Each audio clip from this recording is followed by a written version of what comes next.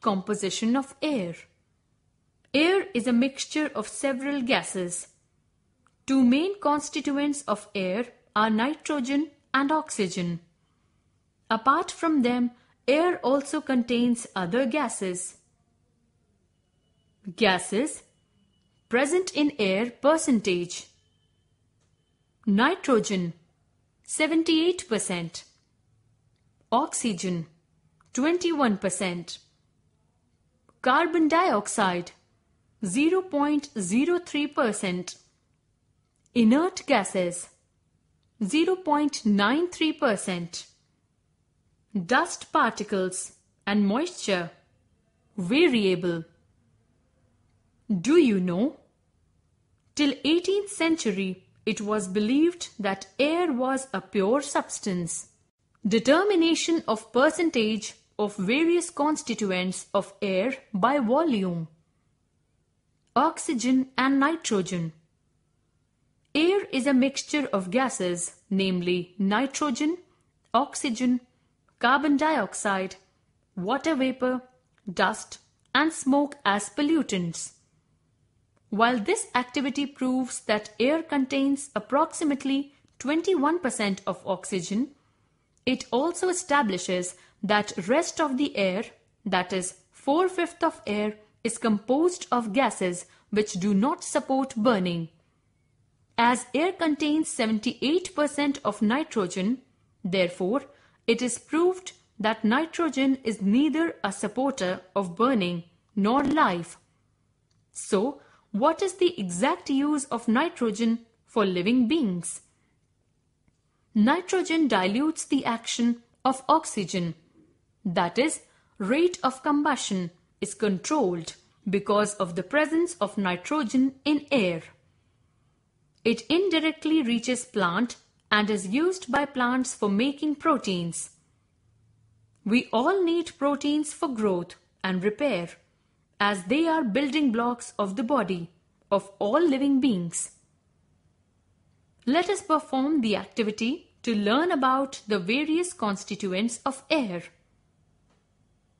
Activity To show the presence of oxygen and nitrogen in air. Take a test tube and mark five equal columns in it with the help of a colored pen, as shown here. Place a small piece of phosphorus in the test tube and fix a cotton wool plug over it. Invert the test tube in a beaker. Pour water in the beaker such that the level of water inside and outside the test tube is at zero mark. Leave the test tube undisturbed for one hour in the inverted position. After one hour, check the level of water inside the test tube. You will find that the level of water in the test tube rises up by 1 centimeter. Why there is a rise in water level inside the test tube? It is because oxygen present in air inside the test tube slowly reacts with phosphorus to form phosphorus pentoxide. Phosphorus plus oxygen gives phosphorus pentoxide. As the volume of oxygen is completely removed by phosphorus, the pressure of air within the test tube falls. To make up for this loss in pressure, air from outside forces the water up to rise in the test tube. As we have already learned that air contains approximately 20% of oxygen by volume. We can see that the level of water rises by 1 centimeter out of 5 centimeter.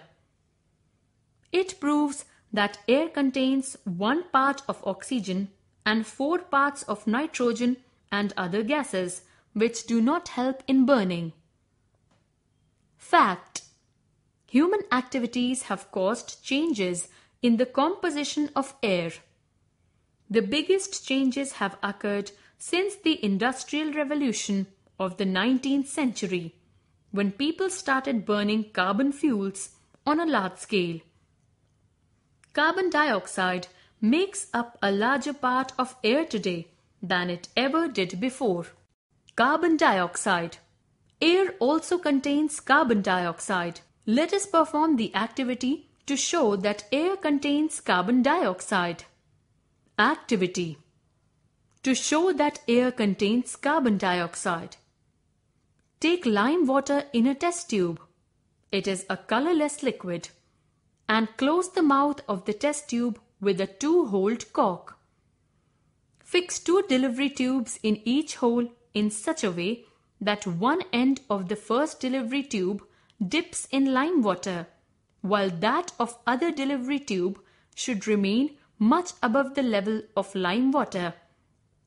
Now, either suck air from the end B or attach a vacuum pump to it to suck air. As air is sucked from B, air from A end will bubble into lime water to take the place of displaced air. What do you observe? Lime water gradually turns milky. Since it is the property of lime water to turn milky on absorbing carbon dioxide, therefore this activity proves that air also contains carbon dioxide. Do you know? The composition of air varies from place to place and there is no specific formula for air. Water vapor. It is a common observation that as soon as you pour cold water in a glass, the outer surface of the glass first looks misty and later you see water trickling down the surface of glass. When you pour cold water in a glass, its walls become cool the water vapor present in air condenses on the outer surface of glass and changes to water, which you see trickling down its surface. This proves that air contains water vapor. The presence of water vapor can also be tested with a blue cobalt chloride paper. It turns pink on coming in contact with the moisture of the air. Similarly, anhydrous copper sulfate which is white in color, turns blue on coming in contact with water vapor of the air.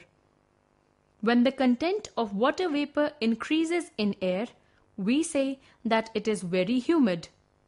When humidity increases in air, the rate of evaporation is very low and it takes longer to dry clothes. On the other hand, during summers, when air is very dry, you are advised to drink lot of water before going out. To check the presence of water vapor in exhaled air, stand in front of a mirror and breathe out with force. You will notice that the mirror turns misty. Why? The water vapor in your warm breath condenses on the surface of mirror and mirror gets misty. In winters, your breath comes out like smoke because air is so cool that condensation of water vapor is immediate and condensed water vapor looks like smoke. Do you know? It is easy to forget that we are surrounded by air. But without it, many of the things that we take for granted could not happen. For example, if you take a car to the moon, it would not work because there is no air. This is why astronauts have to use an electric car when they explore the moon.